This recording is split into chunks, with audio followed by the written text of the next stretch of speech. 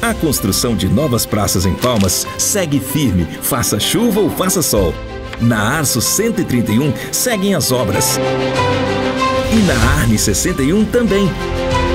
Já a praça da Arço 61 está praticamente pronta.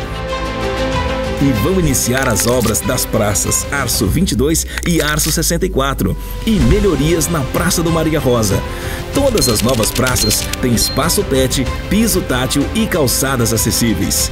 E tem ainda nove quadras de esporte totalmente reformadas. E vem mais por aí. Mais cinco novas praças serão construídas e 11 quadras de esporte serão reformadas em 2023. Taquaruçu vai ganhar um novo complexo poliesportivo e o atual está sendo reformado. Mais espaços de lazer e esporte para quem ama viver aqui.